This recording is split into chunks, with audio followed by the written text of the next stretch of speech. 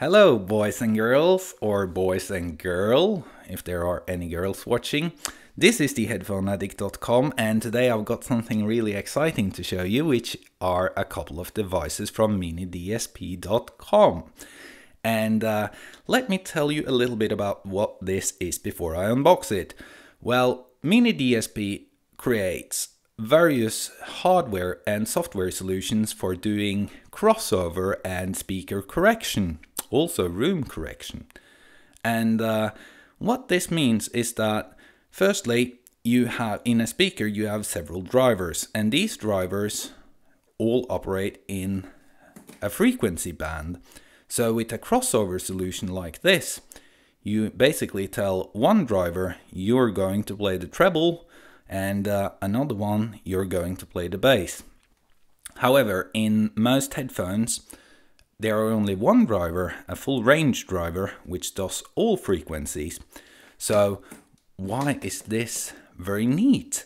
Well, it also features a parametric equalizer and uh, what you can do with that is to tweak the frequency response. So say you have a headphone which is a little sibilant but you like everything else about it. Well, with the Mini DSP parametric equalizer you can set it up so that you actually lower the treble and uh, you don't find them as harsh. So you can basically tweak the response of your headphones and I'm going to tell you more about that in the upcoming review and also I'm going to create a tutorial on how these things work. I would also like to tell you how I got my hands on these.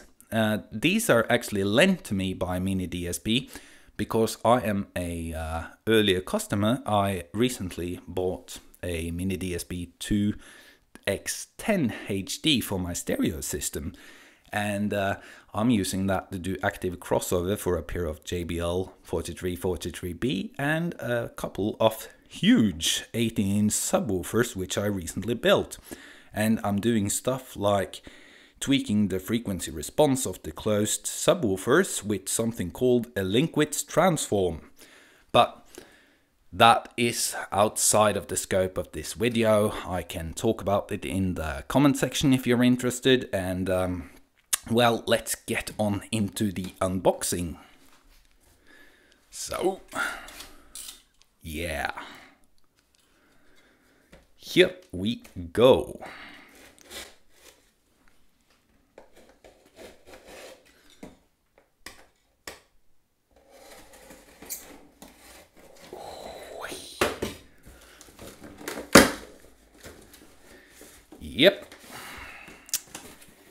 Here we go, guys. We have ourselves probably a power brick and one device and a second device and a ton of wonderful cables and an optical cable as well. Great. So let's get these things out of the way. Let's just put that there. And let's have a look. This is probably the power supply. I'm really excited to get this thing up and running. Here are a pair of power. So that's the power brick and uh, it comes with uh, various con uh, various adapters. So you can use it in any country you so desire. Great. And then we have, let's see here. And they're only 170 bucks each, which is a real steal for the flexibility that these great small devices offer. So excellent, excellent stuff. And here it is. And so the silver one is the Nano Digi. Then there is the Mini DSP 2.4. So this is the Mini DSP 2X4 and what this device does is essentially the same as this one. However, this is for analog sources Okay guys, so here we have both units out of the box and uh, let me tell you a little bit about them. Again, they are 170 bucks each and you don't need both uh, and I'm going to tell you why. If you would like to have parametric equalizer for your headphones and the difference between a parametric equalizer as opposed to a normal equalizer is that with a parametric equalizer, you have much more flexibility.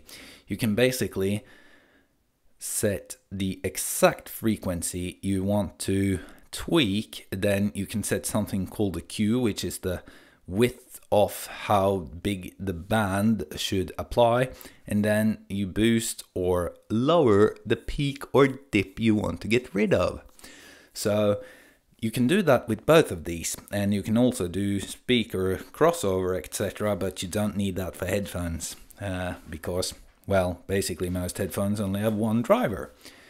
If you really want to geek out you can also get this. This is the UMIK 1 which I bought a long time ago and uh, it's a USB omnidirectional acoustic measurement microphone with uh, its uh, calibrated microphone file and uh, I use this a lot for tweaking my uh, stereo system and also I measure my headphones using this one. It's only around 75 bucks or something like that. Great device. But back to these mini DSP devices. Uh, firstly, the black one is the mini DSP 2X4. And what this does is it takes an analog signal, so it goes before or after your D to A converter or record player or something analog, an analog source. So how this works is you basically connect your left and right analog signal then this device converts the analog signal into digital, does all the processing of the signal, and outputs an analog signal again here at the front. So with this device, you actually have an analog signal coming in. It converts this analog signal into digital. The digital signal is processed and then it converts the signal back from digital into analog. So this is actually a A to D and D to A converter and it outputs the analog signal once again going into your amplifier. So you would want to get this device if you're going to use an analog source. If you're going to use a digital source, however, you would want to get the Nano Digi, which is this one. And uh, this accepts both coaxial SPDIF input and uh, Toslink or optical input.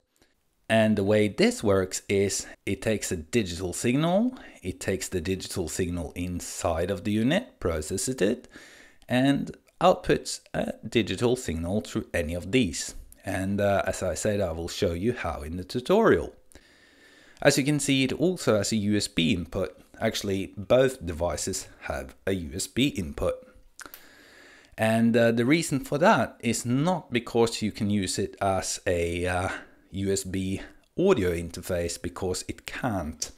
The USB is the USB interface is only for controlling the parametric equalizer through the application. But once you have set it, you can disconnect the USB and uh, you're basically good to go. So very nice devices with tons and tons of flexibility and uh, at an affordable price, uh, well, they're just a steal. So I'm really looking forward to playing with both of these devices and especially the Nano Digi, which will basically get the digital signal in from my computer here. Then I will do all the processing and I will output the digital signal here into my D2A converter, then over to my headphone amplifier. And uh, well, it's going to be extraordinary. I'm really looking forward to it. And uh, even though I'm only allowed to borrow these units from MiniDSP, I'm really thinking about getting this one for myself. So these were the two Mini DSP 2.4 and Nano Digi and I'm going to make a guide of how to use it and how you can improve the quality of your sound. And what I think is really interesting about something like this is that I can basically use the UMIK 1 measure a pair of headphones, say for instance the Audio Technica ATH M50X. I can take the response of the Audio Technica and I can tweak it with this and I can actually if you have this too I can send you the file so you can also use the same correction as me so we could actually build a database of correction files and use uh, NanoDigi or 2.2x4 and uh, share our settings with one another for our similar headphones. So that's great. Really um, extraordinary, if I should say so myself. So hopefully you liked this video and uh, now I'm going to go and play with these. So great guys, thank you for watching and um, I hope you have a great day. Goodbye.